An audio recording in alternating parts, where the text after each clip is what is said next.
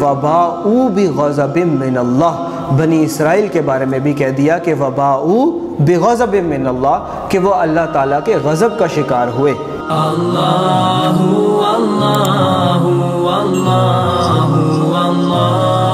अल्लाह ताला कलाम मजीद में फरमा रहा है कि इन्ना अरज़नल अमानता अलसमावाति वल अर्दी वल जिबाली फ़अबैन अन यहमिलनहा। व अशफ़क़न मिनहा व हमलहल इंसान इन्नहु कान ज़लूमन जहूला कि अल्लाह ताला ने एक अमानत ज़मीन व आसमान पर रखी सातों आसमानों पर और ज़मीन पर रखी वल जिबाली और पहाड़ों पर रखने को पेश की रखी नहीं पेश की व अब अबैना यहमिल नहा लेकिन उन्होंने उसको उठाने से कतराए। व अशफ़ न मिनहा व हम हमल इंसान और वो आ, उसको उठाने से डरे। व हम अलहल इंसान लेकिन आखिरकार इंसान ने उस अमानत को उस ज़िम्मेदारी को उठा लिया। इन नहू काना ज़लूमन जहूला बेशक ये इंसान बड़ा ही ालिम और बड़ा ही जाहिल है। और अल्लाह ताला कुरान मजीद में दूसरी जगह कुछ इसी किस्म की अमानत का ज़िक्र फरमा रहे हैं कि लव अनजलना हाजल क़ुरान आला जबल तहु खौशियम मुतसद्दियम मिन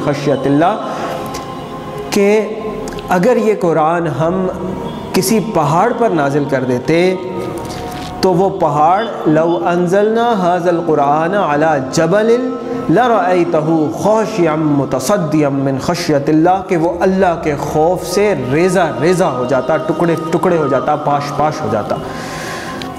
ये एक अमानत है जो अल्लाह ताला ने इंसान को दी। इंसान को उस अमानत के साथ इस ज़मीन के ऊपर भेजा और उस अमानत की तकमील का सिलसिला, उस अमानत की तकमील का आगाज़ हज़रत आदम आसमाम से शुरू हुआ। और नबी मुकरम सल्लल्लाहु अलैहि वसल्लम के दौर में वो अमानत, उसकी तकमील का सिलसिला अपने क्लाइमैक्स को पहुँचा और नबी मुकरम सल्लल्लाहु अलैहि वसल्लम को फरमा दिया गया कि अल-यौम अकमलतु लकुम दीनुकुम। कि नबी मुकरम सल्लल्लाहु अलैहि वसल्लम के ऊपर दीन मुकम्मल हुआ और ये नबी मुकरम सल्लल्लाहु अलैहि वसल्लम की उम्मत को कुन तुम खैर उम्मतिन उखरजत लन्नास तमरून बिलमारूफ़ व तनहौन अनिल मुनकर का मुकाम दिया गया कि नबी मुकरम सल्लल्लाहु अलैहि वसल्लम की जो उम्मत है वो खैर उम्मत करार पाई। और आप सल्लल्लाहु अलैहि वसल्लम से जो पहले खैर उम्मत थी, उसको माजूल कर दिया गया।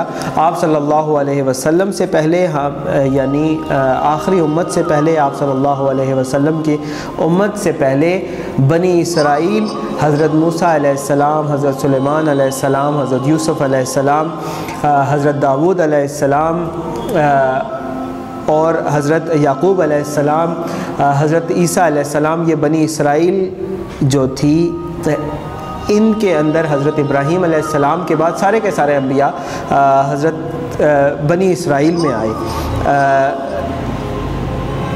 सवाए हज़रत इस्माईल अलैहिस्सलाम के और नबी मुकरम सल्लल्लाहु अलैहि वसल्लम के। नबी मुकरम सल्लल्लाहु अलैहि वसल्लम से पहले खैर उम्मत का दर्जा बनी इसराइल को दिया गया। और अल्लाह ताला कुरान में उसको ऐसे बयान फरमाता है कि, या बनी इसराइल अस्कुरू नियमती अल्लती अनाम तो अलैकुम व अन्नी फ़ज़ल तुकुम आलमीन, के मुस्लिम मुसलमान उम्मत से पहले नबी मोहम्मद सल्लल्लाहु अलैहि वसल्लम की उम्मत से पहले बनी इसराइल वो उम्मत थी कि जिसको ये दर्जा दिया गया कि, या बनी इसराइल अजकरू नियमती तो अलैकुम व अन्नी फ़ज़ल तुकुम आलमीन। कि, ए बनी इसराइल, उस नेमत को याद करो कि जब अल्लाह ताला ने तुम्हें अपनी नेमतों से नवाजा था और व अन्नी फ़ज़ल तुकुम आलमीन और अल्लाह ताला ने उनको तमाम जहानों पर फजीलत दी थी। लेकिन उनके पास जो अम्बिया आते रहे अलैहिस्सलाम अल्लाह ताला का पैगाम आता रहा, वो उसको झुटलाते रहे। और उन्होंने अम्बिया को कत्ल करने की कोशिश की और कुछ अम्बिया को तो कत्ल कर भी दिया।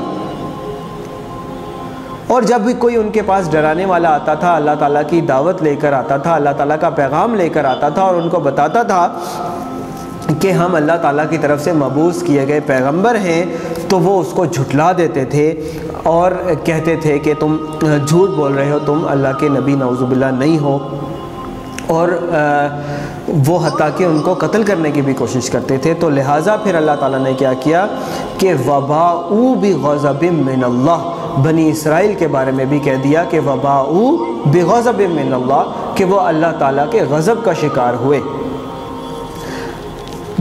जब भी अल्लाह ताला की तरफ़ से कोई मैसेज, पैगाम और अल्लाह ताला की तरफ़ से हुक्म आ जाता है और उसको लोग नहीं मानते तो अल्लाह ताला हक़ को साबित करने के बाद भी लोग ना माने तो फिर अल्लाह ताला उस कौम से नाराज़ हो जाता है और उसको माजूल फरमा देता है। नबी मुकरम सल्लल्लाहु अलैहि वसल्लम के दौर में ऐसा नहीं हुआ।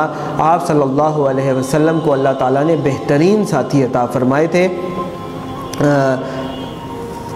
जिनसे अल्लाह ताला राज़ी हुआ, रज़ी अल्लाह का जिनको मुकाम मिला।